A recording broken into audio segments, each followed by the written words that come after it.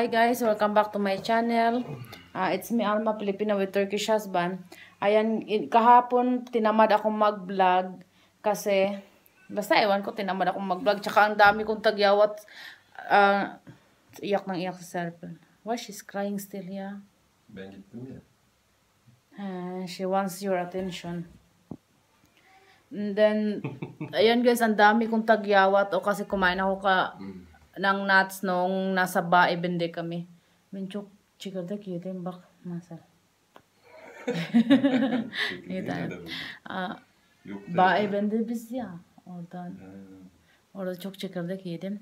So, ah ayan guys, ngayon pag-uusapan natin. Tatanong ko yung asawa ko guys dahil English teacher siya. So, honey, as an English teacher, what is your tips on how to learn Turkish easily? So, pasensya na guys, magulo yung kusina namin kakakain lang, katatapos lang namin kumain. Ayan. Tapos, what? Ne? Bana mı sordun? Hey, yes, I, I asked the answer. Turkish. Turkish is a difficult language uh, if you compare to English or other language because in English there are suffix, prefix, medix. Maybe if you know these. What is suffix?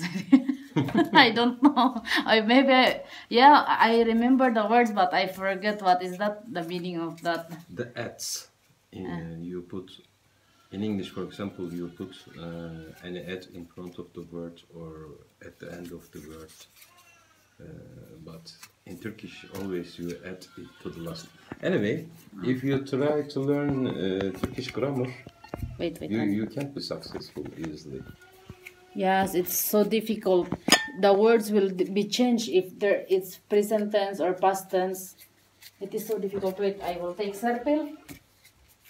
Serpil, why you crying? Dad, come, come.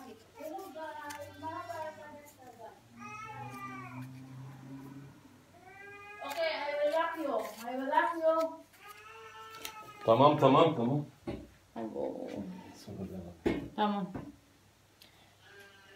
So, para siyang pusa kung umiyak. Ano ba tong batang to?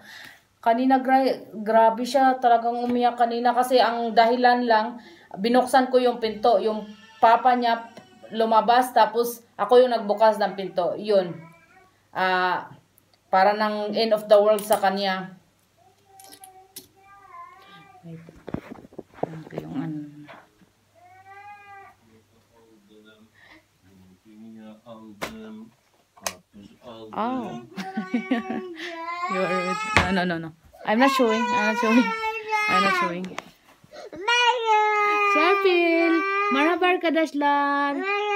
Serpil! Serpil! Say hello guys. Say hello guys. Ne? Ne istiyorsun kızım? What do you want? Serpil, what do you want? No. So, ayan guys, kailangan na lang namin mag-acting ulit na yung asawa ko nasa labas para tumahimik lang to kasi dalawang oras na talaga siyang iyak ng iyak. Ayan. Ayan, iyak ng iyak na siya. Ah! Hali, chabok, chabok, chabok, chabok, chabok. Pag siyang baliw.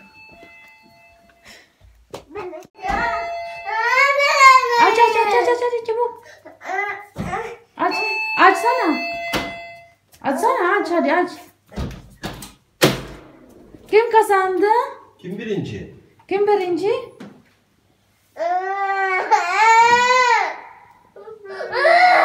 Alhamdulillah, bismillahirrahmanirrahim. Ne oldu ya? Hadi gel bakayım. Gidiyor. Saçımı kırıyor. Saçımı kırıyor. She doesn't scare no more ha? Ya. Ama saçında durmasın da bence omzunda dursun.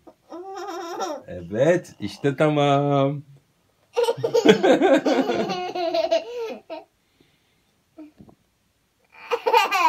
Kıyamıyorsun.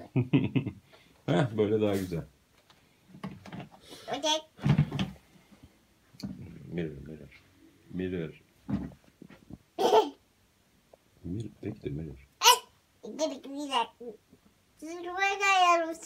Camera is dark ya. Eh, Ayarı yok mu bunun?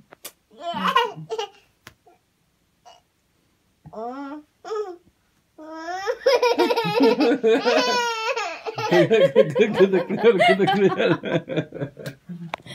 Guys, pasensya na kanina kasi si Serpel talagang iyak ng iyak. Tapos, ayun, ah, kahit pa binuksan namin yung pinto, siya yun na yung nagbukas. Yan, hello. Okay now? Are you okay now, baby? Tokaları sarıyorum da renkleri arıyorum. Okay. Okay, you can play there. So, ayun guys, ewan ko anong nangyari sa kanya ngayong araw na to. Kasi kahit magpasuklay, ayaw niya, iyak siya ng iyak. Tapos, ayun, ang, ang ginawa ko, sabi ko sa asawa ko, dasalan mo na lang siya kasi baka, ewan ko, baka nausog or basta, ewan. Ayun, dinasalan siya ng asawa ko. Kasi dito guys, sa Turkey, yung mga bata kapag iyak ng iyak, kahit anong gawin mo talaga, ah, mainitin yung ulo niya, um, basta may tantrum yung mga bata dito, lalo na pag yung baby pa talaga, ang ginagawa nila, dinadasalan nila. So, may verse sa Quran na yun, ah, yun yung sinasabi nila. Kahit sino naman mag, na marunong magdasal, yun kahit sino, pwede kang magdasal dun sa bata. Tapos, hihihipan nila yung bata. So, yung maliit din si Sister Pil, ganun yung ginawa ng sister-in-law ko. Kasi hindi siya matigil sa pag-iyak. Or, Or basta parang, basta para lang ma-bless yung bata. Pagkatapos niyang magnamas, yun, hihipa niya si Sarpil. So, ayan, hindi lang sa Pilipinas may paniniwalang ganun ha. Dito din sa Turkey, meron sila paniniwala na usog-usog. Then, so, hindi yan yung pag-uusapan natin ngayon. Ang pag-uusapan natin, guys, tungkol kung paano ako natutong mag-Turkish. Ah, guys, sasabihin ko sa inyo, hindi pa rin ako talagang fluent sa Turkish. Hindi ako nakakabasa ako pero hindi ako nakakaintindi kung anong kung anong nandun. So, yung iba lang na words na iintindihan ko um kasi guys, nung pagdating ko dito, talagang wala wala akong kaalam-alam sa Turkish. Ah, ang ginawa namin, ah, dahil nga yung kaibigan ko ay local Turkish, so ang ginawa niya yung doon ako, doon ako natututo. So Chevery, yung Google Translation dito. Nanonood din ako ng, kahit hindi ako nakakaintindi guys, nanonood pa rin ako ng Turkish teleserye. Kung sa atin teleserye, Turkish serye na lang sasabihin ko. Kasi guys, maganda kahit, kahit hindi ako nakakaintindi, pag araw-araw mo siyang pinapanood, ayun, maiintindihan mo na lang din yung istorya niya. So dati, way back 2012, 2011, yung pinapanood ko talaga afternoon show dito ay Bini Afet. Yun, pa, mga paborito kong paborito kong ano yan, ah, Turkish serye sa hapon. Pero dahil nga sa katagalan guys, hanggang ngayon hindi pa siya tapos, so na-bored na ako. Ayoko na siyang panoorin kasi nakaka-board at iba, iba na rin yung mga ano doon, mga, mga cast doon. Kaya, ayun. Yung paborito ko dating mga Turkish serye, ang una ay tapos yung si Sultan Sulaiman, Huram Sultana. Tapos ano, Uchurum. And then Yinigilin. Tapos ngayon guys, ang paborito ko, ah ang pinaka-paborito ko talaga guys ay Yasak Ilma. Talagang ay gustong gusto ko talaga yung Yasak Ilma. Ang ganda ng story kasi guys kasi na, natututunan nila na yung mga asawan may matututunan ka doon kung paano ka maging ano yung paano mo mautakan yung asawa mo. yung natututunan mo yun doon. So, yun, utakan lang guys. Ah, sabi nga ng asawa ko, ano ba yung pinapanood mo? Para namang, ano daw, ah, nakakasama daw bilang isang asawa daw. Sabi ko, hindi maganda yan para mautakan kita. So, ayun.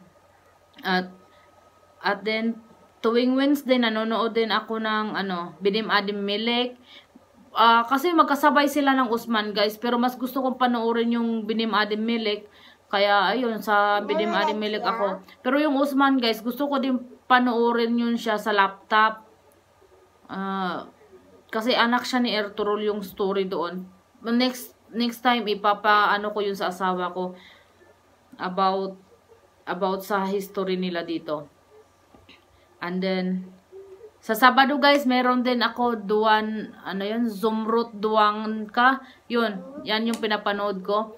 And then, yun guys, ang pinaka talagang na dahil natuto ako mag Turkish guys, yung number one talaga, nakikipag-usap ako sa local nila dito. Yun, kapitbahay, sister-in-law ko, then kung anong words na hindi ko maintindihan, ginagamitan ko siya ng chevery. Um, kaya yun, lalong-lalo na guys, pag may anak kayo, mas madali kayong matuto kasi yung mga chisgi film or chisgi film or kids show dito, mas madaling pabalik-balik kasi yun. Kaya, ayun, yung grammar mo din, matututunan, yung parang accent mo din na uh, ano sa Turkish. Yung nasasanay na din yung parang yung dila mo. Pareho ni Serpil. Maiihina naman siya. Nakalimutan ko palang banggitin kanina na hindi po ako nag-aral ng Turkish language. Uh, ano lang, talagang DIY lang to pagkatuto ko. Talagang local lang ako. Sa local lang ako nakikipagsalamuha. At guys, pag kayo pumunta dito sa Turkey, or kung andito na kayo sa Turkey tapos hindi kayo marunong mag-Turkish, wag po kayong mahiya na makipag-usap sa local, sa kapitbahay, sa tindahan, or sa mga in-laws nyo, wag kayong mahiya kasi sila guys, hindi sila katulad ng ibang Pilipino na perfectionist. Sila ay, masaya na sila pag yung trinatry mo yung sarili mo na maka na matutong mag-Turkish. Ayun, masaya na sila nung ganun. Kahit ba baliktad, uh, ano pa, baliktad, baliktad pa yung Turkish mo. Basta ano ka lang, consistent ka lang sa Turkish mo, matututo at matututo ka talaga. Ah, uh, ayun. Ang una kong natutunan, guys, sa totoo lang, ay bad words kasi yung kasi kadalasan sa mga Turkish hindi lahat ha kadalasan ano lang uh, mahilig sila sa bad words pag galit sila Ayun, so, uh, sinasabi, nagtatanong ako sa asawa ko kung anong ibig sabihin yan, anong, anong ibig sabihin nun. Para pag may marinig ako, kung iba man yung nagsabi, alam ko na kung anong, anong sinasabi nila. Alangan naman, di ba, sasabihan nila ako ng bad tapos, ano, ngingisi lang ako sa kanila. So, yan lang yung mai-share ko ngayon sa inyo, guys. Um, Thank you for watching. Kahit walang kwenta tong vlog ko ngayon. Uh, if you haven't subscribed in my channel, please don't forget to subscribe. And if you like this video, hit the like button. Bye!